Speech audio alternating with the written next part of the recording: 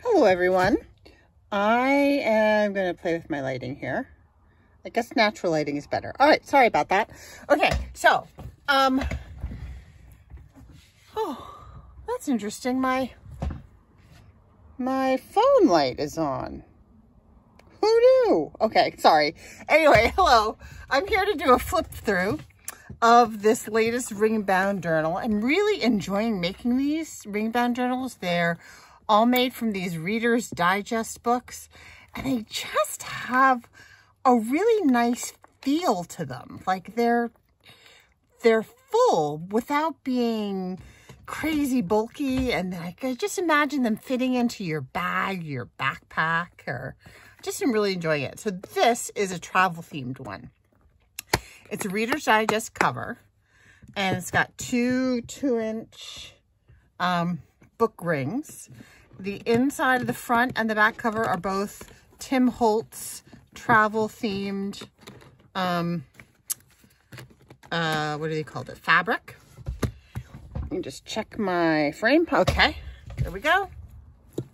All right, so let's get into it. This first bit is a, and if, well, here's a travel pen. Um, not travel pen, flat pen. Flat pen goes in every journal. This is an ephemeral folder and it's made from cardstock and a real vintage match map of Palermo. And it has a little magnetic closure there. You open it up and it's just got some vellum uh, pockets with some real vintage stamps, some faux vintage ephemera from Tim Holtz that are travel themed, some real vintage um, tickets and a little envelope and a little card. So that just closes right there. And then your flat pen is a paper clip and it just paper clips to that. There you go. Um, this is a uh, made from Tim Holtz cardstock and it has a little windy closure. It has a cute little charm that says love, courage, adventure on it. And it is an expandable folder, um, gusseted, and in it is just a, an extra spare little journal with uh, aged paper. So that slides in there. You can either keep it in there or you can pop it someplace else on your shelf until you need it and use that to store other things. Um, these came out really great. I'm really thrilled with how these came out. This is a um, an altered envelope. It's just a, a manila number 12 envelope and I've covered it in real vintage map and I've made two tags here. This These are both made from Tim Holtz paper with some travel theme stamps on the front and the back. I just loved how, oh, just liked how that came out. So that tucks in there and the other slides I have snipped open the top of that envelope and that just slides right in slides right in there. Of course, it went really easily before. there goes my fabric. Okay. Um, all right, and then it flips over. And there are three things in the back as well. So you can see that what I've done is I've just folded over the bottom of the envelope and it creates a tuck spot there. I snipped off this edge for a pocket here and there's also a tuck in there. So this card with an adventure quote goes in the tuck. It says, a journey is a person itself. No two are alike. And all plans, safeguards, policing, and coercion are fruitless. We find that after years of struggle that we do not take a trip. A trip takes us. And that's by John Steinbeck. Okay, and in the little pockety bit is um, some vintage aged paper uh, with a real vintage map that has some coffee stained um, paper to reinforce it. And that slides into the pocket. And then here's a journaling card. This map is um, like a Tim Holtz or a card, not Tim Holtz though. It's like a scrapbook paper map. And that tucks into the tuck there. Okay, now this one here, this is Tim Holtz paper And this is a tuck in the, in the front bit here. And that has another adventure quote journaling card. And this quote says, the first condition of understanding a foreign country is to smell it. That's by Rudyard Kipling. And I have a little stamp there. And that flips over and it opens up and there's some journaling paper in there.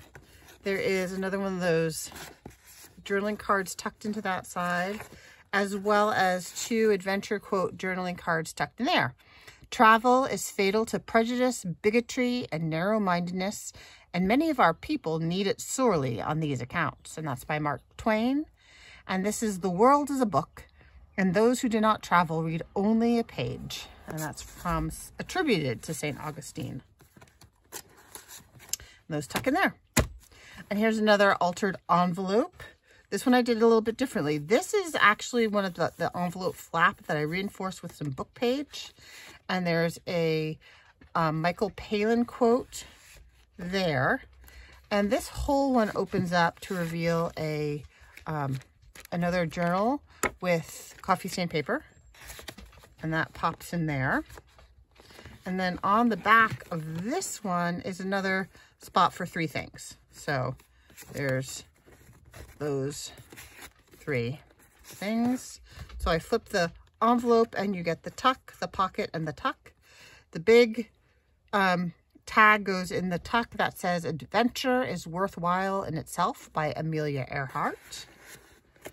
This one is a quote by Helen Keller. And that one is goes in the pocket part. And then there's another little card that goes in the tuck part. So that goes there. And this is another, um, this is made from the cardstock. And this is, this was an offcut that I just made into a little, another little journaling place. Like that. Um, and that closes up, winds around there and tucks there and then you flip it. There's more of that baker's twine and there's a stamp there. And there's a tuck with a card in that spot and more journaling pads. This one has a three-hole pamphlet stitch and another um, tag. And then finally, this last bit is a foldy outie. There is a tall tag on the front page of the fold out. And that is made from uh, Tim Holtz paper. And then that flips open and it reveals two library pockets with some little journaling cards in them. There and there. They're covered with real vintage map from the Atlas. Excuse me, but the cards are cardstock.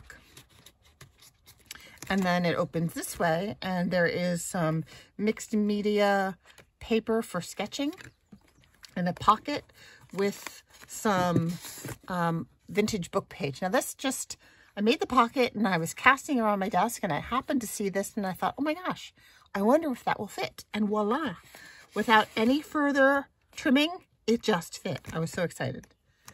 And that is the back flap. So this is available currently in my Etsy store. Um, and if you have, I think these, these ring-bound journals would make really great graduation gifts. If you have a, uh, know of a student who's finishing up college or high school and maybe is has a yen to for adventure and travel. I think this one goes in more. I'm going to have to... Oh, you know what? Maybe I got them switched. I think that's what I did. I think that I got them switched. Um, so anyway, there we go. That slides in beautifully. And that tucks in there. Um, so yeah, so there it is. Thank you so much for watching. And um, have a great day. Hope you're well. Bye-bye.